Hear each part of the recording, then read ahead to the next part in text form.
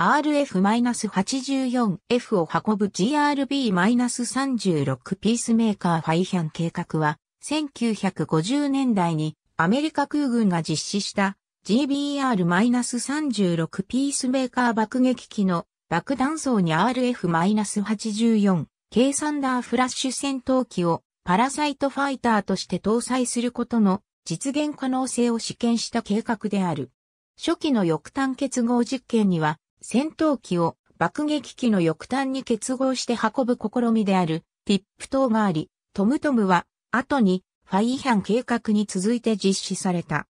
翼端結合実験は航空機の航続距離を延伸することを目指して翼幅の有効値を増すために不動パネルを付加するという企画から生み出された。これはグライダーの細長い主翼と同じような理論上の働きをするはずであった。この案は1944年から1945年にかけてドイツで同規模の航空機同士をつなげた実験が実施されたと言われており、その後も第二次世界大戦後にドイツからアメリカ合衆国に渡ってきたリヒャルド・フォークと博士によりさらなる開発が進められた。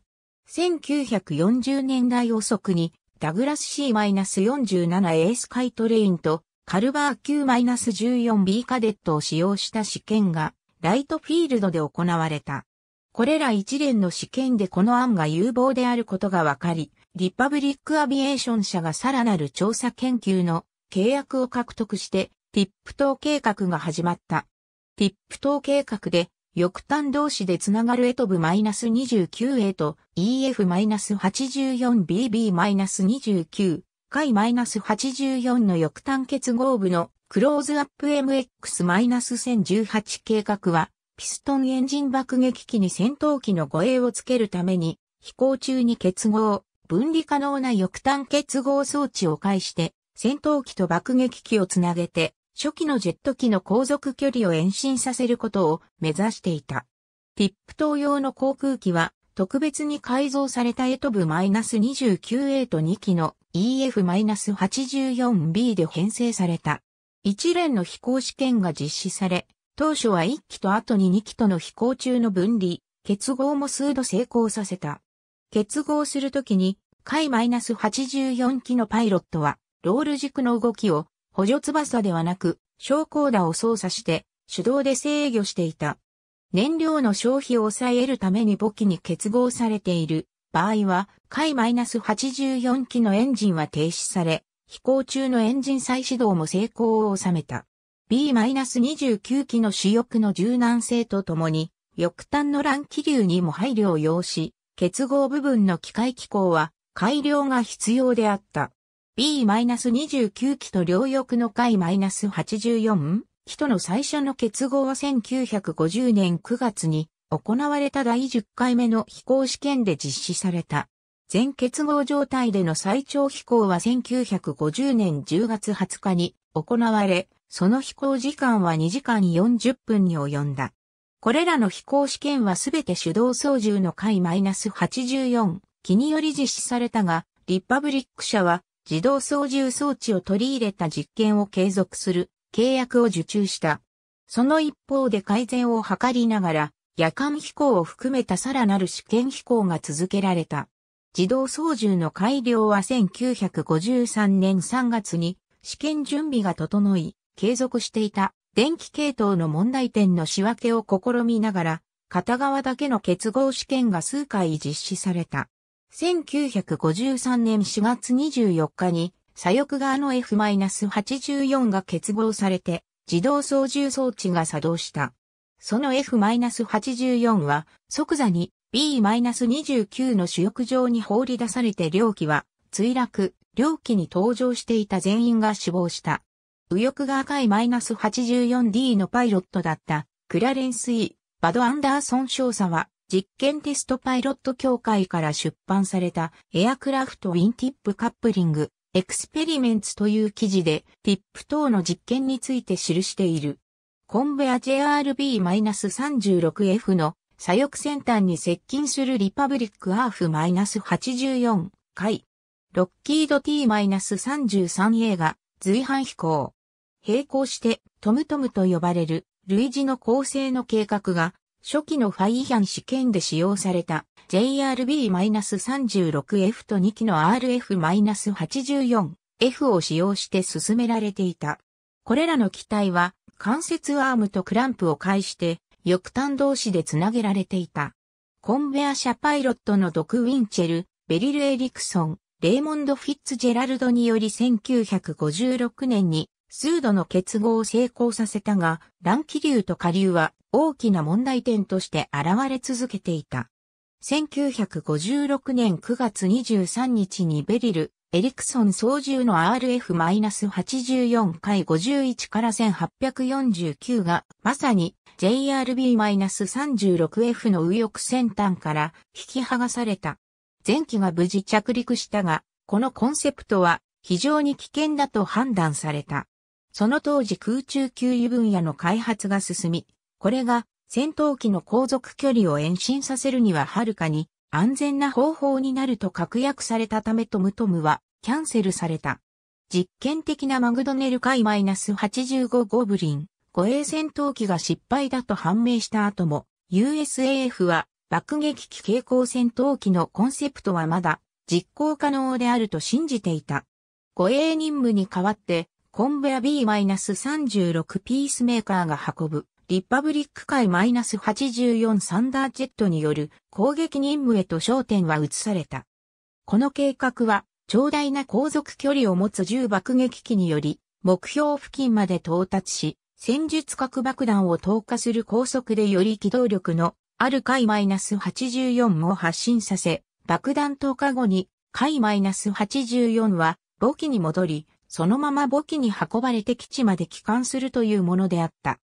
ファイハンの空中ブランコ機構に結合した回 -84、E コンベア GRB-36、ピースメーカーの空中ブランコ機構から発信する、リパブリックアーフ -84 回1機の量産型 RB-36 回 -1、CF ピースメーカーが爆弾層内に特製の空中ブランコ機構を備えるように改造されて GRB-36F の名称を与えられ、一機の量産が高い -84E サンダージェットのコックピット前の機種部に引き込み可能なフックが取り付けられた。このフックが戦闘機と飛行中に爆弾層内で戦闘機を保持する空中ブランコとをつないでいた。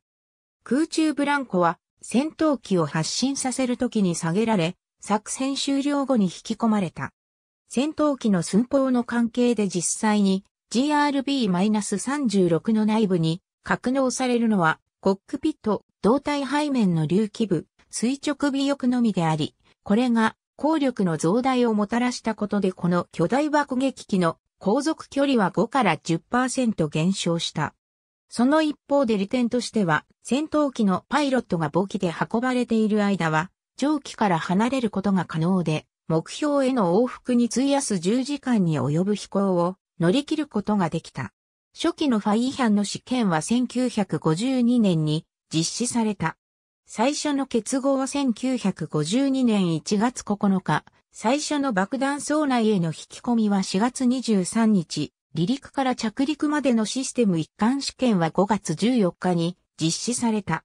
1953年に GRB-36 海 -84E はエグリン空軍基地へ移され、その後にそこで170回の空中発進、回収を行った。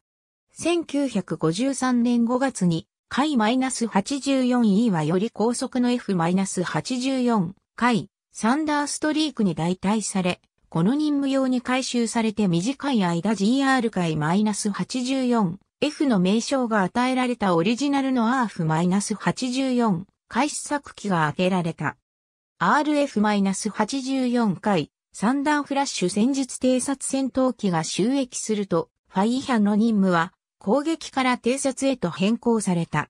回 -84 と同様に RF-84 はその小さな機体と防御の厚い目標上空で発揮する敏捷性を活用し、母機の爆撃機が敵防空網圏外で待機している間に情報収集を行うことが期待されていた。この構想は戦術的に適切であると判断され、USAF は10機の量産型 RB-36D の GRB-36D 母機への回収と25機の RF-84 軽戦術偵察戦闘機を発注した。RF-84K は引き込み式のフック装置を装備しているテント簿記の GRB-36 内により密着するように水平尾翼に下半角がついている点が通常の RF-84F と異なっていた。0.50イン機関銃は装備したままだったため護衛戦闘機としても活用することもできた。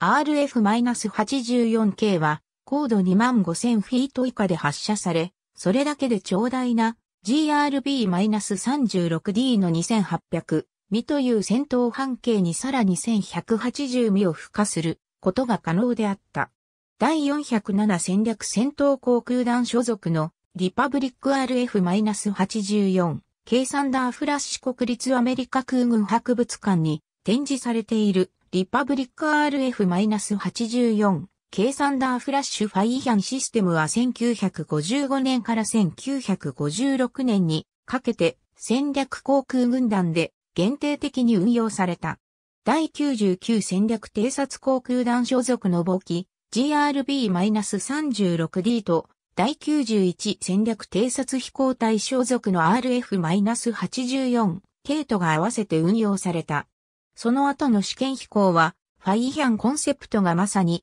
戦術的に適切であることを示したが、作戦運用の実施は困難なものであった。合計で10機の GRB-36D と25機の RF-84K が製作され、1955年から1956年にかけて限定的に運用された。母機との結合は理想的な環境下での熟練パイロットにしても危険であり、RF-84K の中には結合しようとして損傷する機体も出て、実戦や天候不良、経験不足のパイロットによる操縦では困難であることが分かった。加えて450ガロン入り外部増装を装備した RF-84 を搭載した母機の最低地上高は劇的に減少し、ファイハンの構成ではわずか15センチメートルしか余裕がなかった。ロッキード U-2 の登場と経年による B-36 の陳腐化と相まって、こういった欠点は1956年の計画自体のキャンセルに至った。ファイヤン計画の最後の飛行は1956年4月27日に行われた。